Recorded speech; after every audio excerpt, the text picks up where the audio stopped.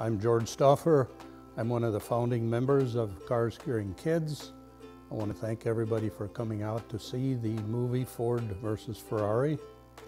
I have a connection with the movie because I used to own the black Le Mans winner. This goes back to 1982 when I was in California and usually I buy the Sunday papers in a city that I'm in because of the car section. And Los Angeles eh, usually has about a two inch car section. So in there was an ad for a 1963 Rolls-Royce convertible. The ad was torn out, put in my shirt pocket, and a couple weeks later my wife found it and said, here, I found that when I was washing your shirt. So I called the gentleman that had the ad. When he asked me for my name, I told him George Stauffer, and he recognized it because he had heard that I had some GT40s. And he asked me, would you be interested in buying a bunch more? Well, I didn't think there were bunches more of GT40s even back then, but he had uh, been contacted by uh, some importers from Belgium that had a warehouse there and their investment advisor uh, had advised them to buy some old race cars because he thought they were going to go up. So they did. They bought four cars, uh, crated them, shipped them to Belgium to a warehouse, put them in a corner of the warehouse, and just forgot about them. Four years later, he said, okay, it's probably time to sell these cars and they put word out that these cars were for sale. Uh, at first, the price that they wanted was outrageous in my mind, and I had been looking for one of the cars, which was a Mark IV, because I had a Mark II and I had a Mark I and I had a Mark III. Well, they would, wouldn't sell one, they wanted to sell them all, all or nothing. So I said, well, I'm really not interested, and but a month later, two months later, he called back and said they've become more reasonable with their prices. And reasonable is a matter of definition, but it was reasonable enough that I wanted to look into it. So I called a friend of mine in Scotland who was the ultimate GT40 guru. He knew everything about every car and more so. I made plans to go over, took one of my race mechanics with me, and the gentleman from Scotland met us in Ghent, uh, Belgium, where the cars were. He brought along a suitcase full of period photos of all the cars back in, uh, in the 60s, 66 basically. And so when we got there, we were in a warehouse that was basically empty except these four crates were in the corner, stacked one on top of the other.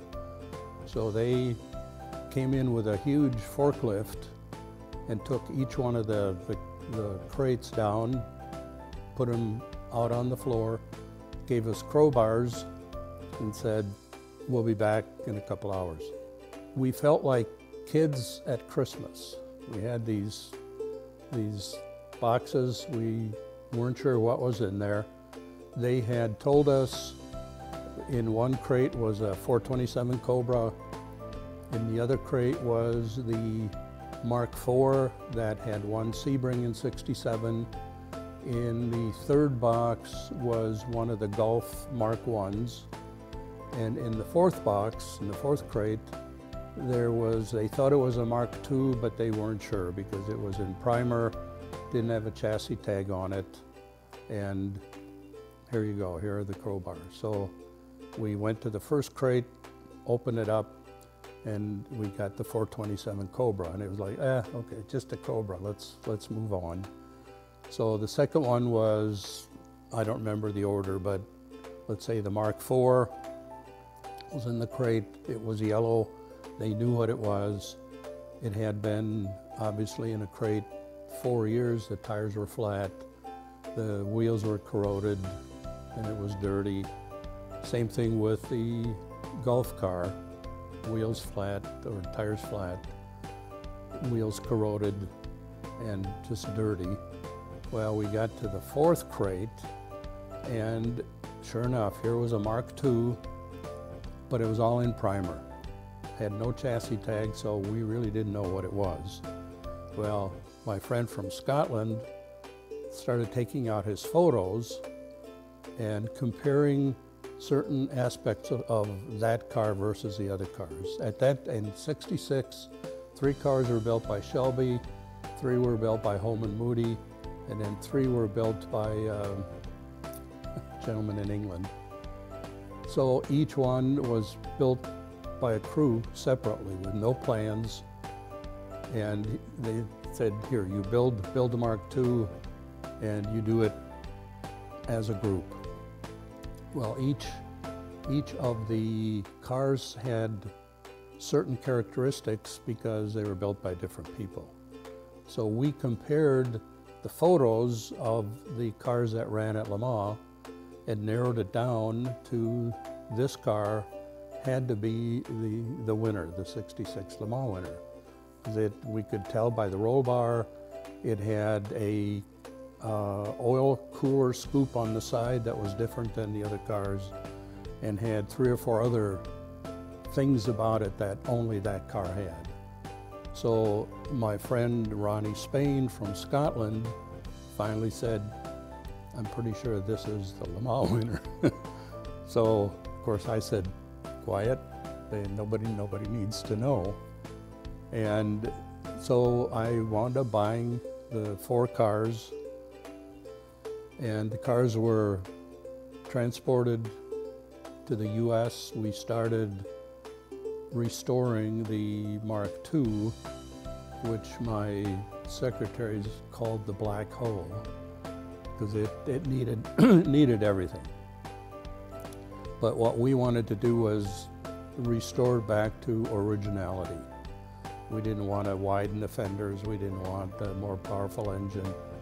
We wanted it back to where it was in 1966. And it took three years, four years to do that. Finally, it was done. We took it to Road America, to the Friday night concourse, rolled it in late, and Saturday morning I was in it on the track. So I raced it for, I think, four years. And it got to the point where finally I, I had to quit driving it because everybody on the track wanted to beat the Le Mans winner. And they were doing not very smart things to, to try and do that. So I retired the car and the car sat basically in my showroom until 30 years later when I finally sold it. Thank you very much for coming to the premiere. If you enjoyed the movie, enjoyed the events, please, please put uh, something into the Cars Curing Kids buckets. Thank you very much.